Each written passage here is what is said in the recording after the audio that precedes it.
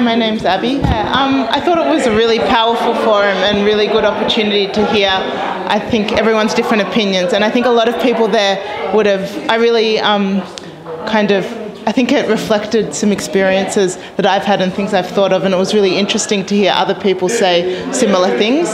Um, I think it's, yeah, really important to get together and talk about these sorts of issues. And in particular, one thing that um, was really good that came out of it was the statistics that, um, for example, in this area, young African people are, I think from memory, 2.4 times more likely to be stopped by police, and yet committing less crime statistically. And so that, for example, um, I don't know, it shows the importance of statistics. I'm not actually from Flemington, Kensington, but I live close by, but it kind of got me thinking about how important it is for the media to base things on statistics rather than kind of racializing things or um, stereotyping people. And so it was good for everyone to get together from all different communities, not just African communities, but people from other cultures were here as well, which is important. Yeah. I think everyone should just maybe reflect, but there's clearly something wrong going on, and it's really important for us all to think about it and think about how to make positive change. And it's really important at every level of police and every level of community to think about how it can be improved and what decisions made today are doing to maybe cause negative things in the future. My name is Omar Abba I know the case from the beginning, uh, involved in organizing a few uh, forums and uh, uh, dealt with this case, which is, uh, I mean, we had uh, two cases today we dealt through.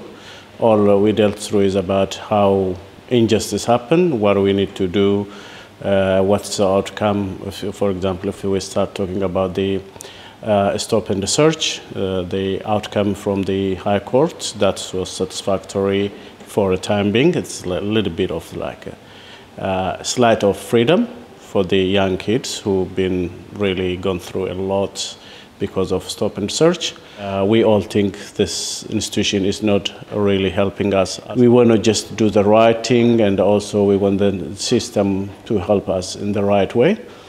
Uh, the African community has got a lot of a lot of uh, duty uh, in front of them, uh, meaning they has to cooperate, they has to work hard. They should know the system as well very well. They should know their obligation, and also they should fight for their freedom. My name is Sarah Gabrihiwat, and I'm in Flemington area. I think it's a great idea. Um, Africans getting together and going against what's going on, which is the racial discriminations against young kids, mainly the males. I personally had an experience with a police officer who, yes, I was on the wrong side, but he had me in an interview room where he he was kind of sexually teasing me and then turning off the uh, recorder while he's interviewing me and then saying, oh, if turning it off and saying, oh, if you can do sexual favors or I can get rid of the charges. Mm. Obviously, I didn't do that and ended up going to court, but he didn't show his face there. So I think the message is doesn't matter where we're from or what culture or religion we believe in, we should all unite together and go against all this discrimination that's going on and forget our problems and just really get together and support each other. I think Victorian police have a lot of power to empower people, but instead they're using it to def defeat people. And so really they could do a lot of things to actually lift that and and really help Australia as a country and empower people, Africans or Asians or whatever we are.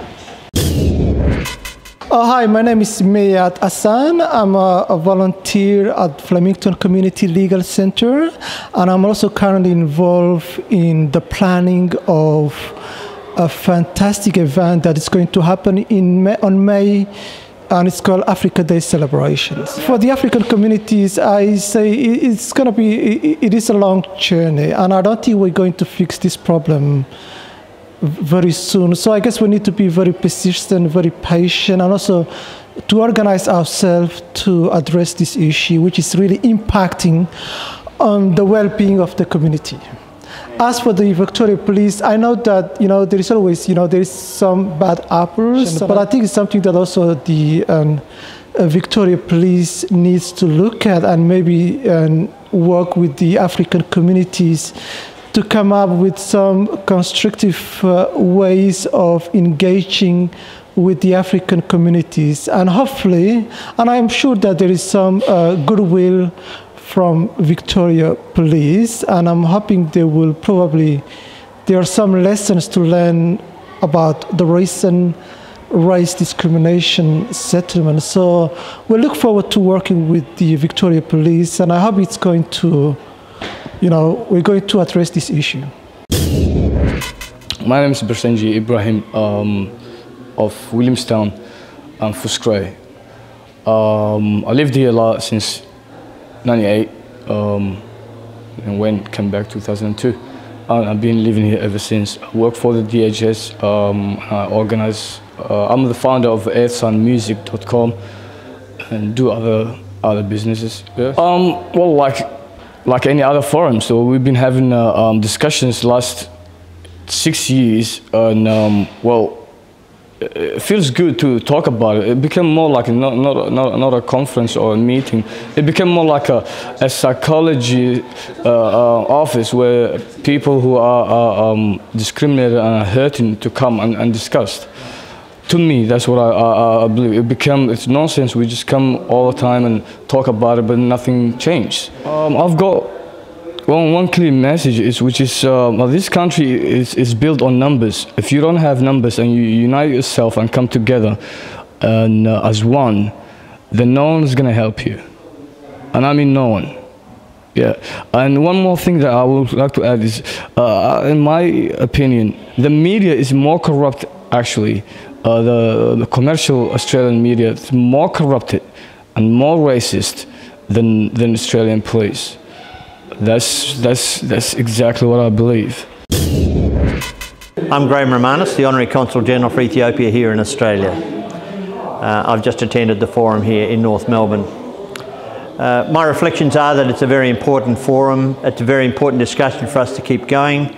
The Discrimination against uh, the African community here in Victoria is a very serious problem uh, and has led to a lot of blind eyes being turned to problems here, particularly in relation to the mistreatment of individual Africans. Uh, we certainly welcome uh, the police's new interest in this issue. Uh, my plea is also that the African community itself hold together as best they can to keep their message clear and precise to the police uh, and to the Victorian community uh, that this is an issue affecting them all as a community and that they should not allow themselves to be divided uh, by any inquiries which are going on. Uh, and I'm, I'm look, looking forward to uh, the future of uh, the inquiries as they happen.